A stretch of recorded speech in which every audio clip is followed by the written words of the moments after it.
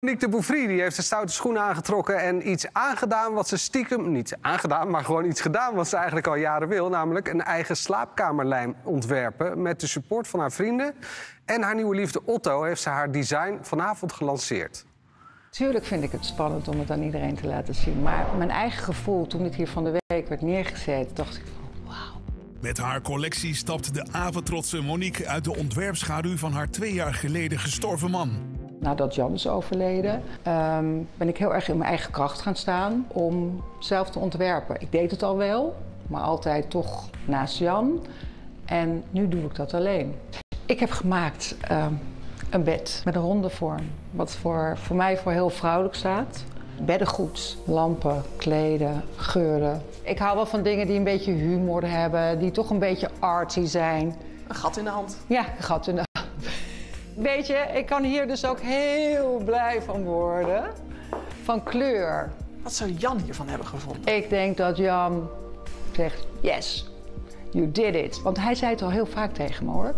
Ga er nog voor, doe het dan. Monique is sinds een jaar smoor verliefd op de vanavond wat camera-schuwe Otto. Ik ben heel happy en, uh, dat dit op mijn pad is gekomen. En uh, we hebben het heel fijn en gezellig samen. En uh, ja, heerlijk. Ja, uh, daar komen we zo op. Maar eerst even uh, die lijn. Uh, jij kent haar goed. Wat, wat vind je ervan dat ze nu haar eigen lijn uitbrengt?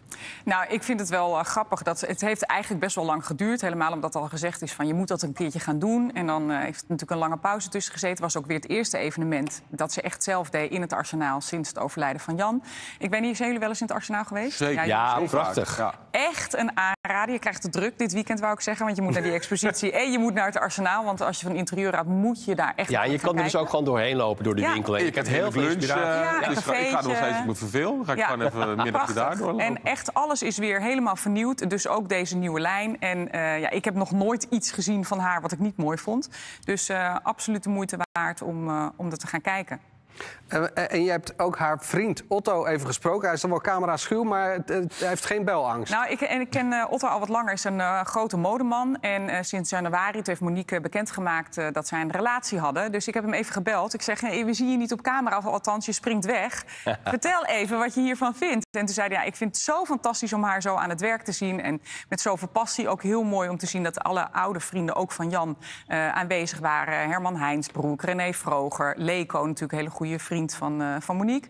Dus eh, goed ondersteund. Dus Otto was heel blij. En ik heb ook Monique net nog even voor de uitzending gesproken. En die zei, wat ik nou weer zo leuk vond, is dat Otto me helemaal heeft geholpen met het opbouwen. En dat hij vanaf dag één me gesupport heeft. Dus eh Lovebirds met hele mooie nieuwe spullen. Nou, superleuk.